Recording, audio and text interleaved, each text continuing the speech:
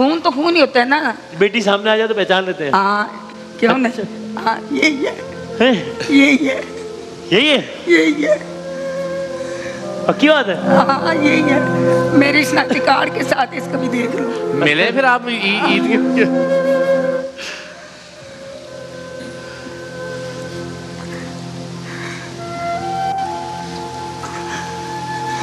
बेटा है वो देख करके देखता ही रहा। तो यही माँ है।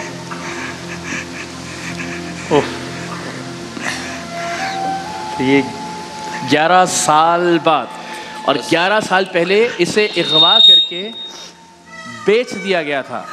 आज 2024 के पाकिस्तान में ठीक है? खुश हैं आप? हाँ बेटा बहुत खुश हूँ। अल्लाह ताला आपकी ज़िंदगी करे अल्लाह ताला आपको इसे मान में रखे। ये जब पता ही ना हो कि सही बात है। कि वो ज़िंदा है हाँ, किस किस हाल में है तो ये ज़्यादा तकलीफ़ से बात नहीं होती?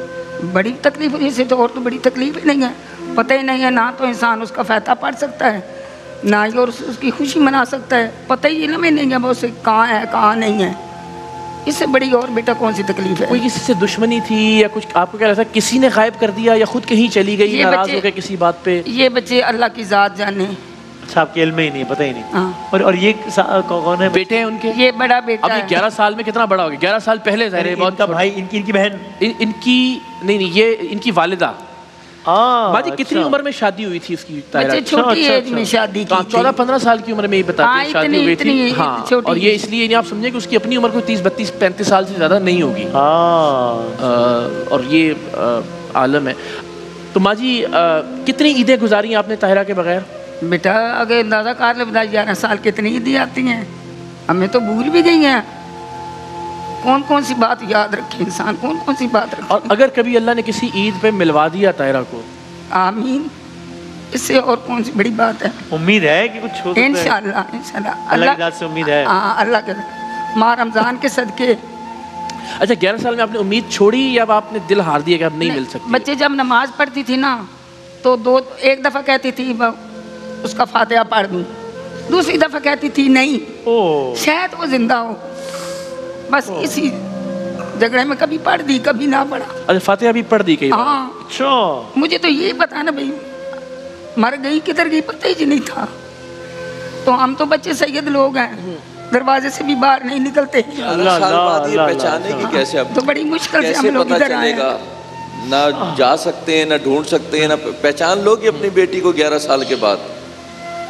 ग्यारह साल बाद अगर आपने बच्ची को कभी देखा तो पहचान पाओगे या ग्यारह साल में इतना कुछ बदल गया कि बेटा ये देखो जो खून होता है हाँ। वो पहचान लेते हैं। अच्छा पक्की तो- बात चाहे हाँ, कितने ही साल हो जाए। खून तो खून ही होता है ना। बेटी सामने आ जाए तो पहचान लेते हैं। हाँ क्यों नहीं? हाँ यही है। यही है। यही है? यही है। पक्की बात है? हाँ यही है। मेरी शनाख्ती कार्ड के साथ इसको भी देख लो। मिले फिर आप ईद के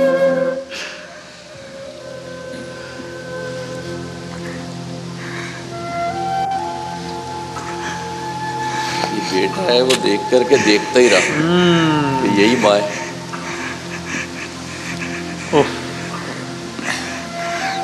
तो ये 11 साल बाद और 11 साल पहले इसे अगवा करके बेच दिया गया था।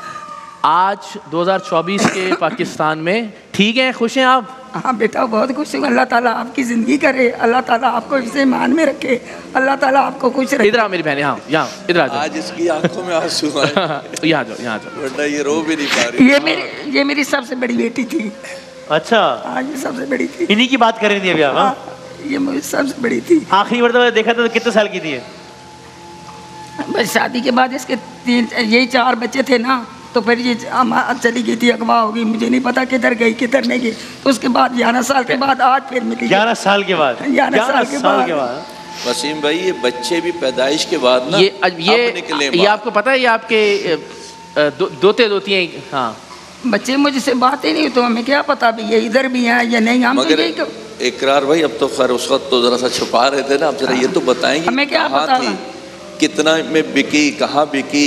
हाँ। ये बिकी है? ये ये ग्यारह साल पहले जो इसके शौहर थे उनके साथ इसका कोई तनाज़ा चल रहा था अदालत में केस था उन्होंने इसको अगवा करवाया। अगवा करवा के इसको बेचा डेढ़ लाख रुपए में। और ये कच्चे के इलाके से परसों रात मैं और सारम भाई जाके वीडियो पे देखी हम लोगों हाँ, ने वीडियो पे वो देखी अल्हम्दुलिल्लाह हम इसको बाजियाब करवा के लेकर आए हैं। और 11 साल में वो एक ऐसा इलाका था जहाँ से ये भागने की या निकलने की कोशिश भी नहीं कर सकती थी। कैसा लग रहा है वहाँ से मिलके आपको? बहुत अच्छा लग रहा है। आपको उम्मीद थी वैसे कभी कि आपकी मुलाकात होगी?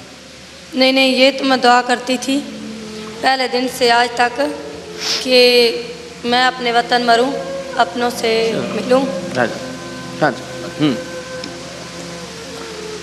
मैं 24 घंटे यही दुआ करती थी कि मैं अपनों से मिलूँगी और मुझे यकीन था दिल में तसल्ली थी कि मैं मिलूँगी। और मुझे कुरान ले के नहीं देते थे पढ़ने के लिए। तो मैंने एक छुपा के सूरह यासीन कहीं से ली और वो मैं सिर्फ़ वो पढ़ती थी। अल्लाह आपको सलामत रखे। अब ये आप आप तशरीफ़ रखें पहले बैठ जाएँ। ये हम परसों से मैं और सारम भाई नोट कर रहे हैं कि ज़ाहिर है इतना जबर इतना तशद इनकी बहुत सारी हड्डियाँ टूटी हुई हैं अच्छा, कि अब अच्छा, जहनी तौर अच्छा, पे अच्छा। बहुत सारी चीज़ें हैं कि जो इनको आप स्टेबल नहीं कह सकते। ऐसे ही सारम भाई ये इकरार भाई अब आप सोचे ना कि उसकी कि ये रो रही थी। आँखों से आँसू नहीं आ रहे थे इसके। हाँ। ये आज अपनी माँ और बेटे को देख के इसकी आँखों से जो है ना आँसू आए। मैं मकसद हैरान होता हूँ कि हम किस मुल्क में रह रहे हैं। आपको याद है लास्ट ईयर जो सत्रह साल गुजरा वाला शहर से लेके आए थे वो वो तो। कराची से अगवा होकर पंजाब पहुँच गई। ये पंजाब से अगवा होकर के कराची अपने सिंध में में। पहुँच गई। मकसद कोई पूछने वाला नहीं है। हमारी माँ बहन बेटियाँ बच्चों कोई महफूज ही नहीं है। हम किस मुल्क में रहते हैं? उस माँ पे क्या गुजरी होगी और इस माँ पे क्या गुजरी होगी? ये एक माँ का मामला नहीं है अभी दो माँ का मामला है ये। अभी जो मिल और रही बच्चों के साथ अभी जिस कैफियत से ये गुजर रहे हैं क्योंकि अब ज़ाहिर माँ को भी समझ में नहीं आ रहा कि ये बच्चे हो गए हैं। हाँ हाँ हाँ। और पहली औलाद भी है। 11 साल में ज़िंदगी बिल्कुल बिल्कुल सब कुछ तब्दील हो गई है सब और कुछ बदल गया भाई एक बड़ा अच्छा सवाल इसने किया था। वो प्रोग्राम में हम सारा प्रोग्राम ही खैर खोल दिया। लेकिन ये कि प्रोग्राम में कि इन बच्चों को अब क्या नाम दिया या जाए ये माशरा इनको क्या स्टेटस इसका कोई जवाब देना इस मुल्क में? हमारे हुक्मरान कोई तो जवाब दे कि इन बच्चों को अब क्या नाम दिया जाएगा? जो अगवा के बच्ची आई। तो आपने कहाँ से अब आपको अपने प्रोग्राम में बताएँगे अभी एक एक नहीं हम हम हमने कच्चे के इलाके से काजी अ, काजी अहमद के इलाके से बहुत अंदर कई किलोमीटर अंदर जाकर। जी वहाँ लिटरली वहाँ से आप तस्व- वो जब प्रोग्राम में हम दिखाएँगे ना तो तस्वुर भी नहीं कर सकता कोई इंसान के वहाँ से। कैसे बल्कि इनसे अगर आप इनको इनको माइक दीजिए ना जरा। आप मुझे बताएँ आपने वहाँ से भागने की कोशिश क्यों नहीं की ग्यारह साल में? क्योंकि वहाँ कोई जगह नहीं थी जहाँ से मैं भाग सकती। मैंने दो तीन चक्कर कोशिश की थी। एक चक्कर मैंने ले डॉक्टर निदा जाफरी हैं। तो उनसे भी मैंने मदद मांगी थी। इन लोगों को पता चल गया था। वो पूरा जाना ही नहीं मतलब पूरा इलाका ही था जिससे तस्वुर भी वो- नहीं कर सकते। कोई निकल सके कोई। निकल सकता। वो जो जगह थी चारों तरफ़ इनके रिश्तेदार होते हैं। कोई औरत भी औरत से बात नहीं कर सकती है। और मोबाइल तो मेरे सामने बिल्कुल नहीं रखते थे। कि मोबाइल से शायद ये घर वालों से रब्ता ना कर ले। और मेरे साथ जाते थे कभी पहले तो मेरे साथ नहीं जाते थे हाँ, शहर भी मेरे आपकी ज़िंदगी जब तक ये आपको बड़ी बेटी हुई है मरियम तो उसके बाद भी निशान पैदा हुआ था घर में मुझे मेडिसिन देते थे। तो छोटा पेशाब करने के लिए भी रात को नहीं छोड़ते थे।